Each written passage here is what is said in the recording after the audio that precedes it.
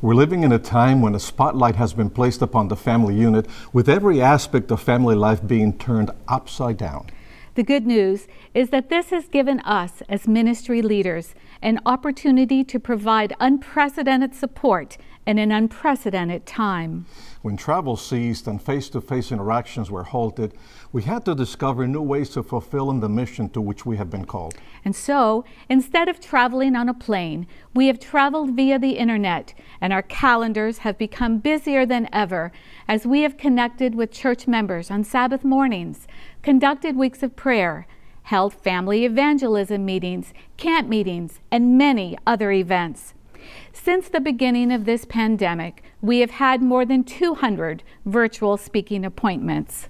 We've also taken this opportunity to connect with and conduct regular training sessions with the union and conference directors of the three ministries that we oversee family ministries, men's ministries, and single adult ministries. Since being given the honor of serving in this capacity, we have envisioned the goal of developing an entire library of family resources that would encompass the family lifespan. We had a good start on that goal before the pandemic struck, but one of the blessings of not traveling is that it has allowed us more time to research and write. This year alone, we have been blessed to author six brand new books to complement this family library. Building Homes of Hope and Wholeness is the new training program for family ministries coordinators at the local church level. Solo Mom was written to help single moms navigate the challenging waters of parenting alone and move from surviving to thriving.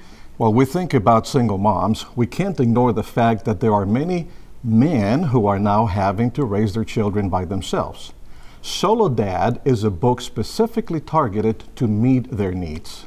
Helping Write the Last Chapter is a book for ministry to the elderly, the terminally ill, and those who grieve the loss of loved ones. These first four books are now in the production process by AdventSource.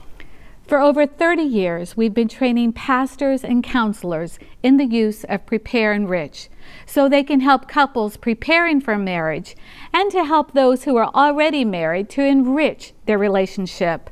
To complement the Prepare Enrich program and drawing from our 39 years of marriage, 35 years of pastoral and educational ministry, and 25 years in family ministries, we wrote two additional books to serve as resources for pastors those working with couples, and for the couples themselves.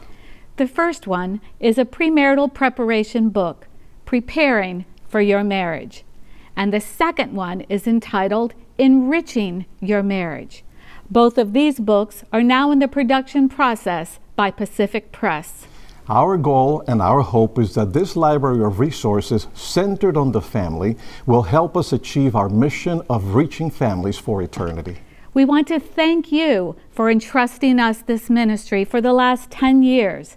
It's been an honor, a privilege, and a blessing to serve you and God's people. And it is our prayer that this unique and challenging time in the history of the earth provides us with an opportunity to lead our families, cherish our spouses, disciple our children, and grow together in faith.